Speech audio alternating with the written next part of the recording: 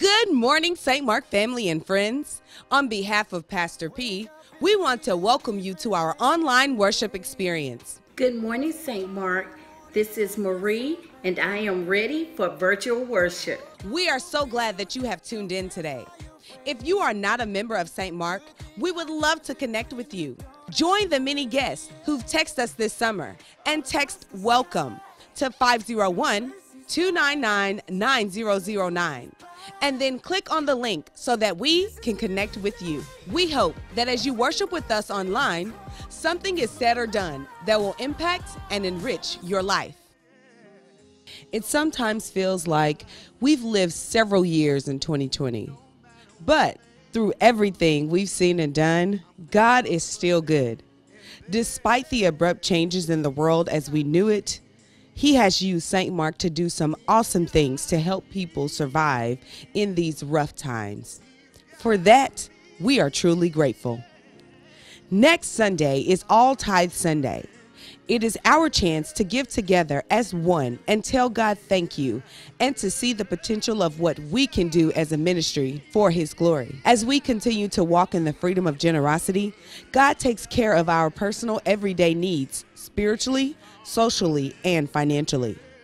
Let's all show our gratitude to God, thanking Him as we give our best gifts back to Him. If you have never given before, now is a great time to show your thanksgiving to God. If you give periodically, consider becoming a consistent giver. And for those who give regularly, think about going above your normal tithe.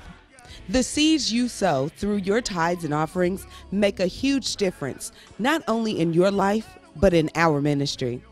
Let's all participate on November the 1st by giving our best gift to God.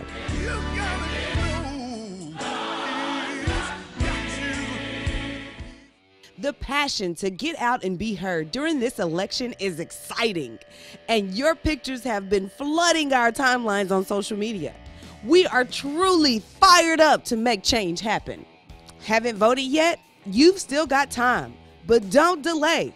With only one week left, it is crucial that you make a plan to get to the polls to cast your vote. And you can be an election evangelist by calling your friends and family and making sure they get their votes cast too.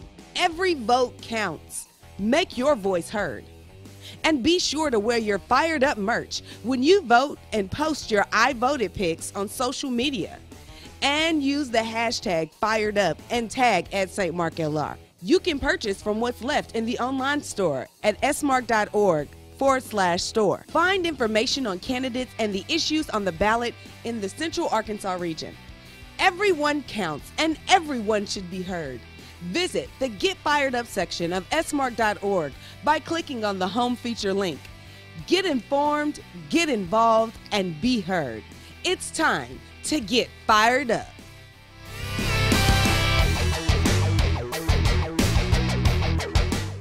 Attention St. Mark family. The St. Mark annual report will be coming out next month, and we need to get a count of those who would like a physical copy. Many of you have transitioned to viewing it online in recent years, and that's great. But we do know that there are some who still like to pick up a copy. Look for an email today from the church with a link to a short form to request a mailed copy of the report when it comes out. As it is our custom, we pray every week for those who have lost loved ones. This week, please remember in prayer the following families Jesse and Lenora Bowler Sr., in the passing of their son, Jesse Bowler Jr., and in the passing of his sister, Aretha Marshall. Deborah Jones and Don Oropobo in the passing of their father, Louis Jones. April Robinson in the passing of her aunt, and Amaya Jones in the passing of her great aunt, Joyce Conway. We want you to know that your St. Mark family loves you and cares for you deeply. Let us pray. God of love and mercy. Embrace all whose hearts overflow with grief, unanswered questions, and a sense of loss. Grant them space to express their tears hold them close through the coming days.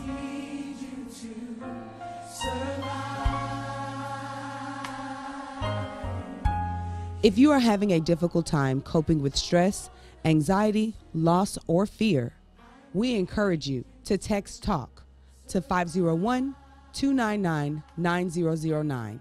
You will receive a link to a short form to better help us connect you to someone who can walk with you through this season. You can also find the information at smark.org or the St. Mark LR app.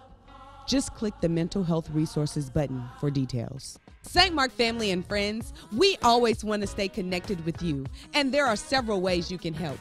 If you would like to know more about being a part of the St. Mark family, connect with Pastor John Richards. If you are looking for ways to exercise your spiritual gifts in ministry, connect with Pastor Deborah Woods to find your best fit. If you are hospitalized or have lost a loved one, be sure to text VISIT to 501 299 9009 to connect with Pastor Shirley. Connect with us on Twitter, Facebook, YouTube, and Instagram at St. Mark LR. You can also watch live services on YouTube. Just search for St. Mark Baptist Church Little Rock and click subscribe. And for those who don't have internet access, just use our call in number to listen to services live. Call 1 872 9708.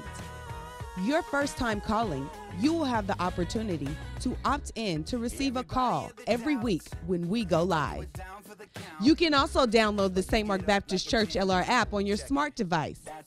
Be sure to allow notifications so that you can stay up to date with the news from the church. And don't forget to push. Every gift counts.